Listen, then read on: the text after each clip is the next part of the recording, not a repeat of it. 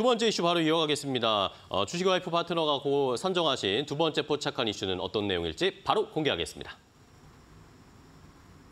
화장품 수출이 대기업 위주에서 중소기업으로 변화하면서 수출 국가 또한 다변화하고 있습니다.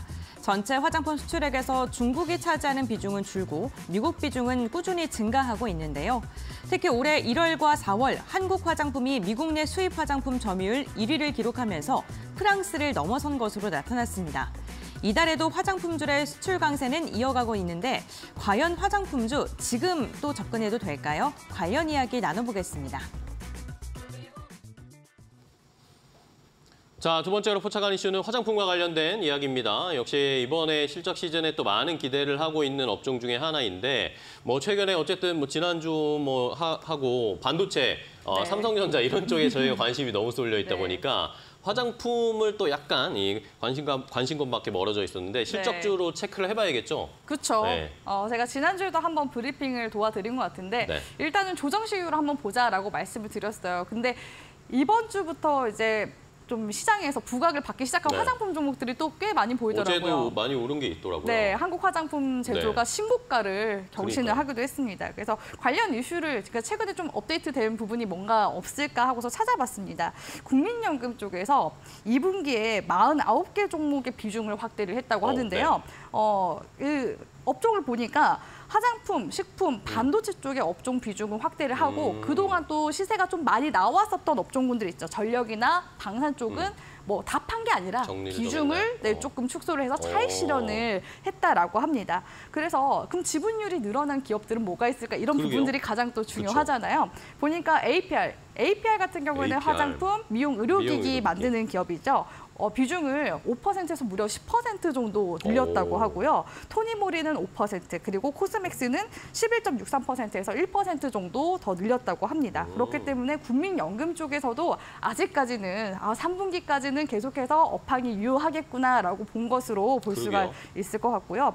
그리고 이제 수출 관련해서도 이제 데이터도 중요한 시점이죠. 음. 실적과 수출이 잘 맞아 떨어져야 또 주가상으로 그쵸. 퍼포먼스가 나올 수 있기 때문에 아, 지금 수출액 증가율은 또 어느 정도 되나 또 찾아봤습니다.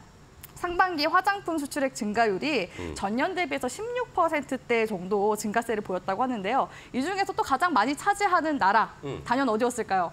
중국인가요? 미국인가요? 미국이었습니다. 미국으로 네, 이제 넘어갔죠? 미국이 네, 전년 대비해서 59%대나 어, 상반기에만 이렇게 올랐다고 하고요. 그 다음이 저는 일본일 줄 알았는데 음. 베트남이었습니다. 베트남이요? 네, 오. 그 동남아 쪽에서도 우리 한국 화장품 인기가 엄청 뜨겁다고 하고요. 그 다음에 있는 게 이제 일본이었습니다. 오. 그래서 이렇게 지금 타 국가들 여러 이제 국가들의 해외 수출이 지금 진출망이 확대가 되고 있는 부분들을 봤을 때 당분간은 그래도 안정적인 성장세가 좀 꾸준히 이어가지 음. 않을까라고 볼 수가 있을 것 같고요. 어, 최근에 시장에서 좀 많이 부각이 됐었던 이제 화장품 기업들 보면은 화장품 네. ODM사들이. 음. 많이 올랐었잖아요. 어, 대다수의 지금 ODM사가 2026년도까지 캐파를 지속적으로 확대를 할 예정이라고 합니다. 그러면 투자 회수는 언제부터 하냐? 내년부터 회수가 가능하대요. 음. 네네. 왜냐? 지금 너무 수출이 빠르게 올라오고 있어서 있으니까. 증가하고 있기 네. 때문에 그렇기 때문에 지금 시점에서도 충분히 아 화장품 섹터 아 이제 조정은 좀 어느 정도 지나가고 있구나라고 음. 보시고 이제 눌림목 구간이니까 또 좋은 종목도 우리 시청자분들이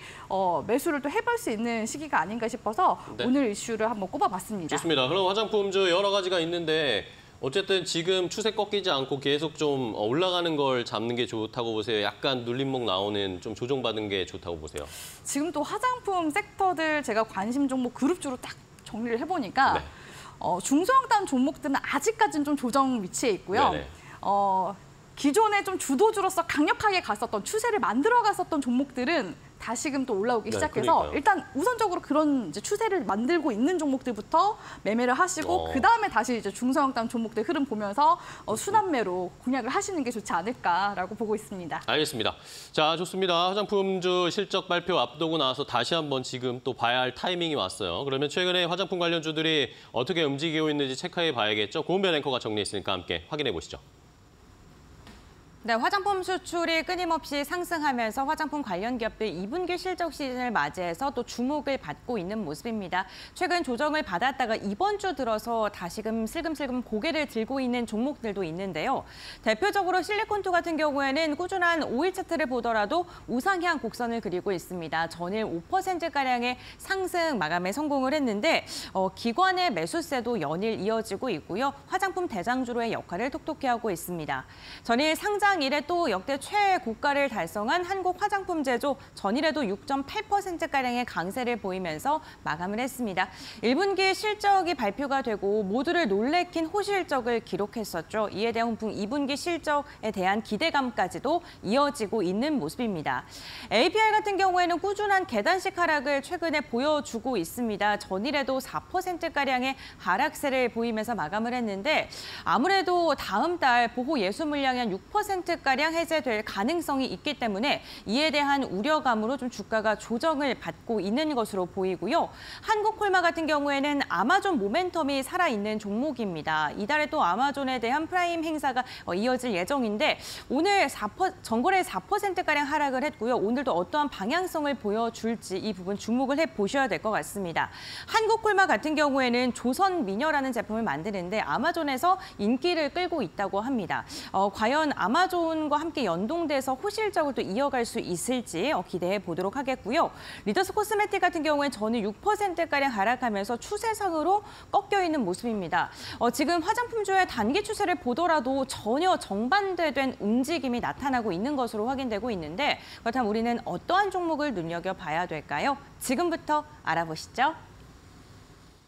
자, 이렇게 화장품 관련주들의 움직임 봤는데 조금 차별화되는 모습은 나타나고 있어요. 그러니까 어떤, 어떤 걸 골라야 될지 또 많은 분들이 고민하고 계실 텐데 자, 주식와이프 파트너님께 해답을 좀 구해보겠습니다. 어떤 종목 볼까요, 처음으로? 네, 일단 달리는 말에 한번 올라타 보셔라 라고 말씀을 드리고 싶은 게 지금 미국 쪽에서 계속 돈을 풀고 있기 때문에 외국인 매수세가 국내 시장에 들어오는 거라고 볼 수가 있거든요. 이 같은 흐름이 당분간은 좀 지속이 될 가능성이 높아서 어. 지금 시점에서는 약간 좀 초심으로 돌아갈 필요가 있다. 네. 초보자들이 초심자의 행운이 있잖아요. 그쵸. 근데 대부분 우리가 초보 때 생각하는 많은 실수들 생각하면 올라가는 종목들에 타는 경우들이 음. 많습니다. 근데 나올 수 있는 타이밍을 찾는 게 가장 큰 핵심이라고 볼 수 있는데 지금은 매수 타이밍에 있어서는 달리는 말에 타는 게 음. 지금 시장의 좀 트렌드라고 보고 있기 때문에 좀 많이 올라가 있기도 하지만 또 지금 시점에서 또 추가적으로 상승세가 나오려고 하면 당연히 또 타점을 한번 잡아? 네, 볼 수 있지 않을까요? 그래서 오늘은 실리콘2라는 실리콘2. 네, 가장 지금 네. 화장품 어, 관련 업종 중에서 뜨거운 지금 주가 흐름을 보여주고 있는 네, 종목 한번 가지고 와봤고요. 네네. 이제 뭐 지금 화장품 뷰티 시장이 정말 많이 변화가 됐습니다. 우리 국내 시장 같은 경우에는 CJ 올리브영 중심으로 해서 어, 유통망이 1,300 정도, 1,300개 정도 이제 확보가 음. 돼서 어, 계속해서 그 로드샵 브랜드들이 네네. 계속 커지고 있고요. 인지 브랜드들이 그리고 해외 쪽으로는 실리콘투가 그런 이제 올리브영에 해당하는 유통망을 또 그쵸. 담당을 하고 음. 있잖아요. 국내 어, 화장품 브랜드가 이렇게 많은 줄 몰랐습니다.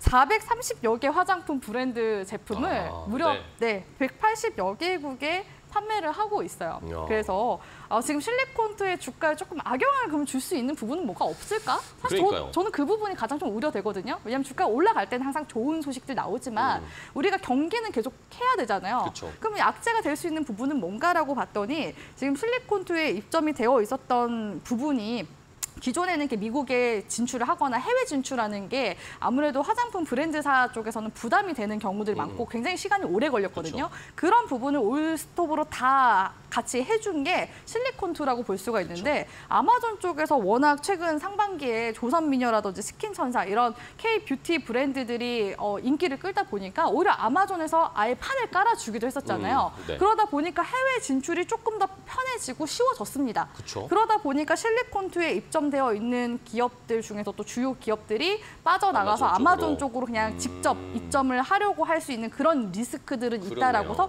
얘기는 좀 나오고 있는데 네. 아직까지 는 뭐 일부 몇 개 기업들이 좀 빠져나갔다라는 것으로 크게 우려할 필요는 없다라고 보여지고요. 왜냐하면 워낙 많은 브랜드들이 지금 이렇게 유통 관계를 맺고 있기 때문에 아직까지는 크게 우려할 단계는 아니고 실제로 매출액이 저는 다 보여주고 있다고 보. 어, 보고 있어요. 매출액 추이를 보시면 2021년도 매출액이 1,300억 정도였었는데 2024년도 그러니까 2023년도 기점으로 해서 매출액이 확확 올라가기 시작한 것 같습니다. 3,400억대 지난해까지 그렇게 됐는데 올해는 7천억대가 지금 예상이 되고 역대 최대치죠. 네. 근데 기- 그 기록을 또 내년까지도 경신할 수 있을 것이다라는 전망치들이 지금 현재 나와주고 있기 때문에 현재 실리콘투의 주가상 어, 이런 이제 약간 고밸류 상태로 계속 올라가고 네. 있는 예, 상황이라고 볼 수가 있을 것 그러면 같고요. 궁금한 게 실리콘투가 해외 진출을 할 때 오프라인 솔루션도 제공을 해주는 건가요?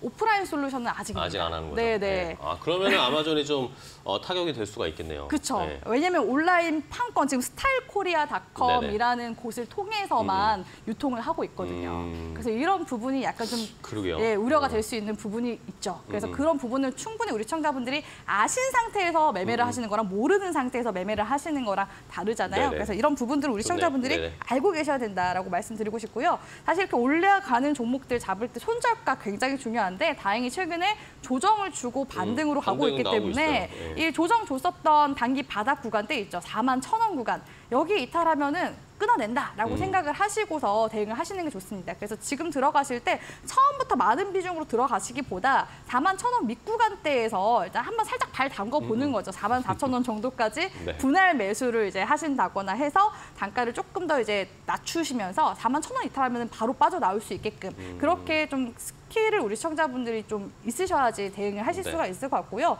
여기서 이제 전고점 구간대 쌍봉이긴 한데 지금 업황이 워낙 슈퍼 사이클이잖아요. 네네. 돌파 가능성이 굉장히 높긴 합니다. 그래도 일차적으로는 매물대 구간 5만 2천 원 구간대 여기서 한번 분할 매도 하시면서 돌파 여부 보시는 게 좋지 않을까라고 보고 있기 때문에 제가 말씀드린 가격 네. 전략 참고하셔서 진행해 보시길 바라겠습니다. 좋습니다. 실리콘투 한번 조정 받았는데 다시 이번 주에 계속 좀 반등세 보여주고 있는데요. 실적 앞두고 지금 기대감이 좀 어, 차오르는 것 같아요.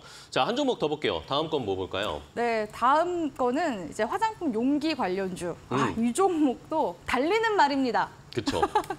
어, 원래? 기존에 기존에 시장에 음, 화장품 용기 관련주가 연우가 있었는데 네. 연우는 이미 한국콜맛 쪽에 인수가. 됐었죠. 그래서 이제 유일하게 좀 화장품 용기 관련주라고 했을 때 지금 시장에서 좀 부각이 되고 있는 기업이 펌텍코리아라고 펌텍코리아. 볼 네. 수가 있을 것 같은데요. 이 기업도 실제로 매출액은 지금 꾸준히 증가세를 보이고 음. 있고요. 특히 올해 같은 경우는 2021년도와 대비했을 때 2021년도 영업이익이 260 어, 1억 원 정도 됐었거든요. 음. 올해는 439억 원이니까 이런 이제 주가 상승세, 지금 업황 상승세와 같이 함께 편승해서 올라가는 것으로 네. 보여지고요. 실제로 이제 화장품 용기 어, 그 공장도 증설해서 음. 앞으로 매출 캐파도 더 커질 것으로 보여지고 또 다수의 브랜드 포트폴리오도 지금 확장해 나가고 있는 중이기 때문에 현재 시점에서는 그래도 관심을 좀 가져볼 수 있지 않을까라고 보여집니다. 그리고 2분기 역시도 역대 실적이 네. 어, 전망이 되고 있는 상황. 그렇기 때문에 기술적으로만 한번 볼게요. 기술적으로 보면은 네.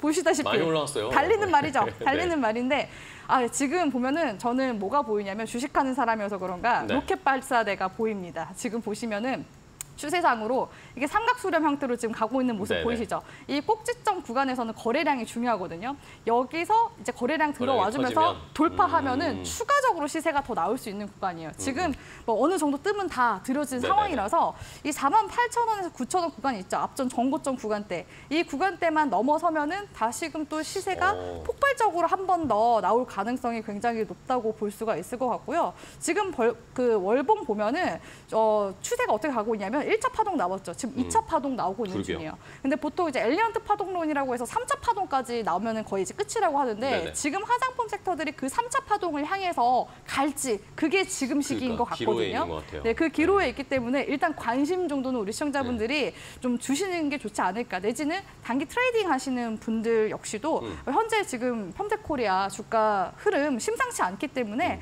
단기 손절가 잡는다면 한 4만 2천 원 구간대 기준으로 잡으시고 신고가 구간으로 만약에 가게 되면 제가 또 다시 한번더 이슈 레이더 시간에 음. 네, 가져와서 좋습니다. 봐드리도록 하겠습니다. 알겠습니다. 자 이렇게 펌텍 코리아까지 확인을 해봤습니다. 뭐 화장품 수출 많이 되는데 뭐 브랜드나 국가의 수출에 상관없이 어쨌든 용기는 있어야 화장품을 만들고 어, 수출할 수 있으니까요. 그러다 보니까 펌텍 코리아가 이렇게 가고 있는 것 같습니다. 과연 진짜 3차 파동으로 어, 뚜드릴 수 있을지 거래량이나 이 주가 흐름이 뚫을, 뚫릴 수 있을지 한번 지켜보도록 하겠습니다. 자 오늘 F 파트너와 함께 이슈레이더 자세하게 어, 살펴봤습니다. 오늘도 좋은 전략 종목까지 알려주셔서 감사하고요. 다음 시간에 또 뵐게요. 고생 많으셨습니다. 네,